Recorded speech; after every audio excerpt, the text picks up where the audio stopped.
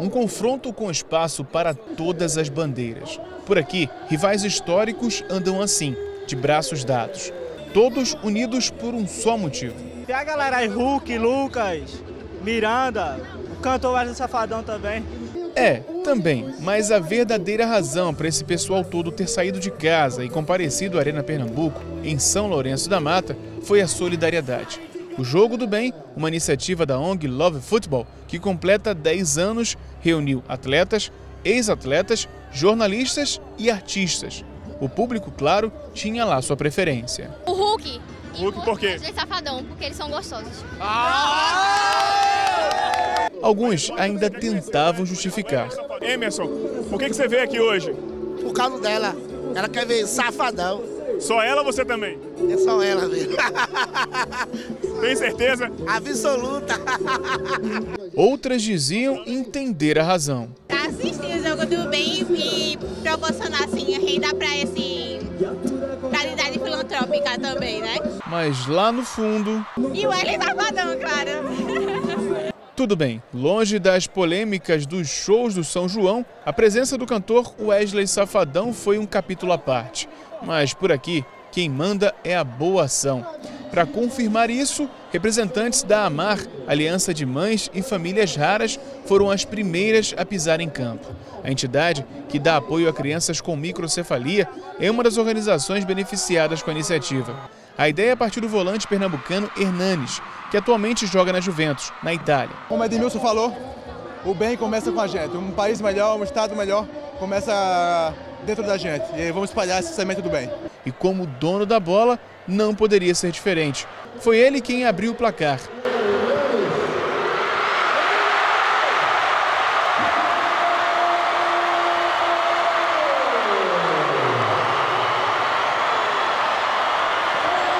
A goleira Bárbara, única mulher em campo, representou o futebol feminino. Até Lucas, do Paris Saint-Germain, surpreender a titular da seleção brasileira. 1 a 1. Em seguida, o pentacampeão Edmilson virou o jogo. Teve até espaço para gol de outro pentacampeão, Edilson, que ampliou o placar. No intervalo, explicações de um lado e de outro. Graças a Deus, hoje eu recebi esse convite do Hernandes junto com a secretaria aqui do esporte para poder vir representar tanto eu, como Bárbara, como pernambucana, também como futebol feminino e seleção brasileira. O que vale é a festa também, né? Dentro de campo é secundário, o que vale é a festa para essa torcida maravilhosa que veio prestigiar este evento espetacular, né? Uma iniciativa muito bacana de, das pessoas que, que, que fazem parte deste projeto e eu vi com o maior prazer. Não podia recusar o convite do Hernandes, ele, quando ele me ligou, eu já aceitei logo de cara. A gente só ah, deu uma organizada nos horários, porque daqui a pouco eu tenho um show no Sergipe, né?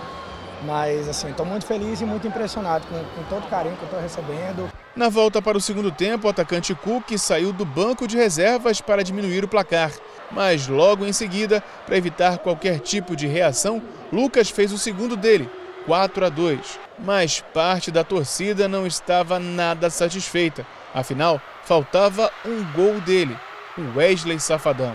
E foi com uma ajudinha do goleiro que o cantor quase colocou o estádio abaixo. Time do Miranda 4, time do Hernanes 3. E naquele estava inspirado, mostrando oportunismo, Safadão empatou a partida, 4 a 4. Mas foi aí que a coisa desandou.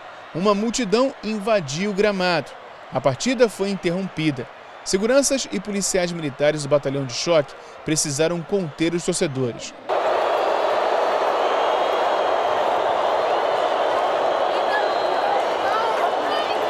Fim da partida, time do Hernanes 4, time do Miranda também 4. Mas no fim das contas, isso é o que menos importa. Nem mesmo a invasão ao campo ofuscou a festa da solidariedade. Além da AMAR, a ONG Love Football e Afeto, associação que atende crianças com autismo, vão dividir o que foi arrecadado com a venda dos ingressos. É mais uma vez o futebol entrando no gramado para diminuir as diferenças. É uma ação muito produtiva. Eu acho que o governo do estado fez um gol nesse jogo, porque ele abre os olhos para a realidade, acolhe também e direciona um, um financiamento também para a gente poder fa- continuar com as nossas atividades com mais dignidade. E a partir de agora, esse equipamento, a Arena de Pernambuco, que é um patrimônio do povo de Pernambuco, a gente vem a dar uma nova dinâmica. com esse evento solidário e com mais eventos para a gente fomentar a cultura, o esporte, o lazer e também fomentar e ter mais solidariedade dos pernambucanos